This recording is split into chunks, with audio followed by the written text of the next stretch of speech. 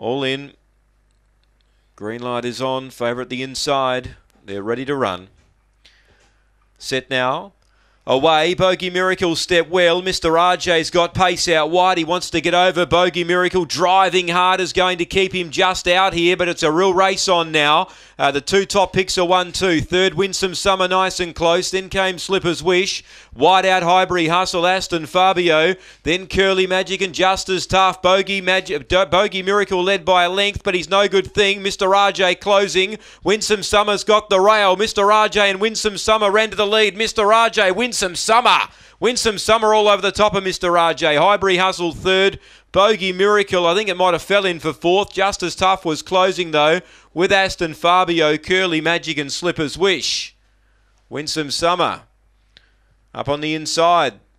Well, the favourite, Bogey Miracle, uh, he had two really strong chasers right on his tail. And Winsome Summers got through on the inside to win from Mr. RJ. And Highbury Hustles grabbed third. Number one, Bogey Miracle hangs on for fourth. 4681. Uh, 31.21 the time. The run home in 15.19. 4681 here, Gawler. And Winsome Summer, too good.